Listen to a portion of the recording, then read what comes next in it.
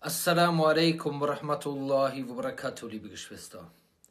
Allah subhanahu wa ta'ala sagt im Koran in Surah 36, Innama tunziru man itaba'a dhikra wa khashya rahmana bil ghaib. Du kannst nur denjenigen warnen, der der Ermahnung folgt und den Allerbarme im Verborgenen fürchtet. Man weiß aber nicht, wer den Allerbarme im Verborgenen fürchtet. Es ist manchmal so, dass es so aussieht, als wenn jemand ganz nah dran ist zum Islam, aber am Ende stirbt er als Käfer. Wie Abu Talib beispielsweise, der dem Propheten والسلام, geholfen hat und am Ende gestorben ist. Und Allah subhanahu wa ta'ala sagte, offenbarte daraufhin zum Propheten, إنك لا تهدي من أحببت ولكن الله يهدي من يشاء. Du leitest nicht recht, recht, wen du will, liebst sondern Allah leitet recht, wen er will. Und Allah sagte da im Koran dazu, ما كان للنبي والذين آمنوا أن يستغفروا للمشركين ولو كانوا أولي قربى من بعد ما تبين لهم أنهم أصحاب الجحيم. Es geziemt sich nicht für den Propheten und die Gläubigen, dass sie für die Mushrikun um Vergebung bitten, nachdem ihnen klar geworden ist, dass sie zu den Gefährten des Feuers gehören. Das heißt, Manche Leute, die sehen so nah aus, als wenn sie so nah dran sind, am Ende landen sie in der Hölle. Man denkt, der ist ganz nah am Islam. Und manche Leute sehen aus, als wenn sie ganz weit weg wären. Wie zum Beispiel Khalid al-Walid, wie zum Beispiel Amr ibn As. Leute, die den Propheten wassalam, bekämpft haben. Bis zum siebten Jahr nach Hijra. Das heißt, 13 Jahre in Mekka, sie haben den Islam nicht angenommen. Sieben Jahre nach Hijra, dann nehmen sie den Islam an und gehören zu denjenigen, die den Islam nach vorne bringen. Jemand zu sein, der den Islam mit dem Schwert bekämpft, ist schlimmer, als jemand zu sein, der Alkohol trinkt. Ist schlimmer, als jemand zu sein, der in die Spielhalle geht. Ist schlimmer, als jemand zu sein, der Sinner begeht. Das heißt, wir wissen es nie. Aber wir sollen die Hoffnung nicht aufgeben.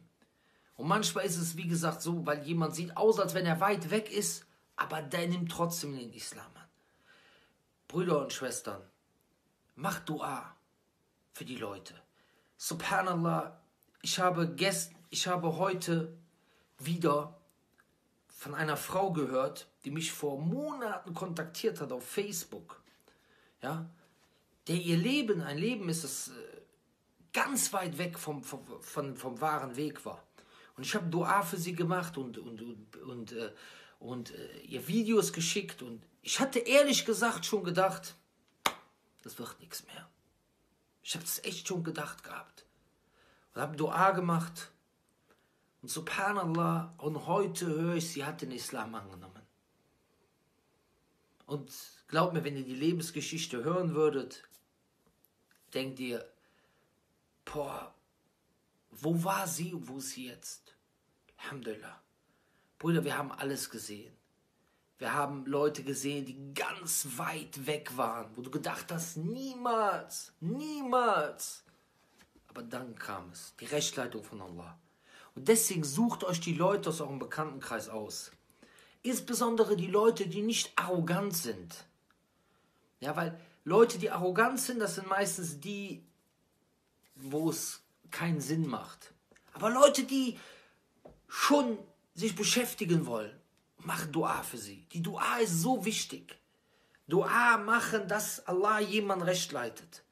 Und inshallah in der letzten Sekunde wird Allah den recht leiten. Gebt die Hoffnung nicht auf. Und das gilt auch in erster Linie an mich.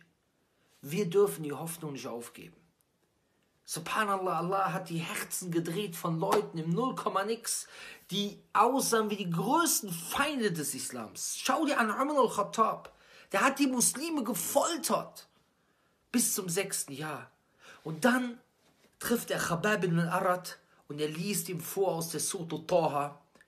Toha, ma anzalna alayka al-Qur'an li. Und er hört diese Verse und beschließt, den Islam anzunehmen. Möge Allah uns alle zu leuchtenden Beispielen für diese Religion machen. Assalamu alaikum wa rahmatullahi wa barakatuh.